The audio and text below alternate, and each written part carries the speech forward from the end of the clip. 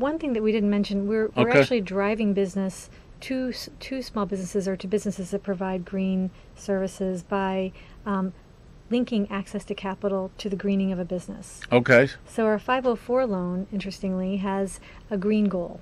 If you if you're a small business and you're developing a new facility or you're expanding a, an existing facility, you um, and you can meet our green goal, which is Mhm. essentially proving to us that you're building a new facility or or improving an existing facility to have 10% increase in energy efficiency, Mhm. then two things happen. You can have you can be more eligible for the loan Mm-hmm.